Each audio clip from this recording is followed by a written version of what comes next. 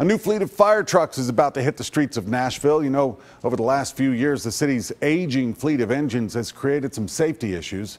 Our Chris Cannon is in East Nashville, where one of the new trucks will roll. We're at Station 3 where firefighters will soon get a new engine, a piece of equipment that is much needed and a long time coming. Takes about uh, a year or so to spec out an engine and get it ordered and built. Count them, 13 new fire engines Nashville couldn't get fast enough. If we weren't critical, we were just before critical. So, and in some reports you'd hear them say that. So it was more than serious, I'll say that, that we needed to get these engines out here.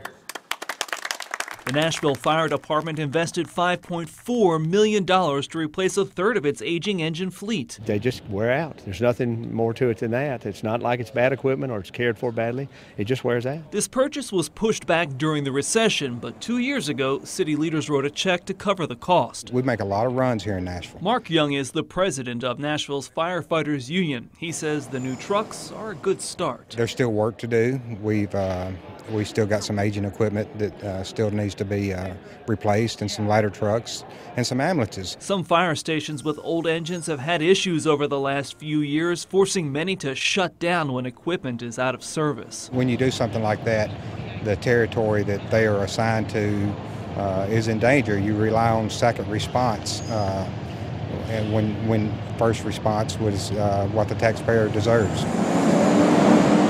So this row of new fire engines not only looks impressive, it makes Nashville safer.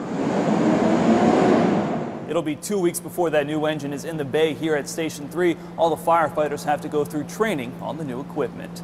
In East Nashville, Chris Cannon, News Channel 5. The engines came out of a $6.5 million budget appropriation for the fire department. It also included seven new ambulances. They're already in service.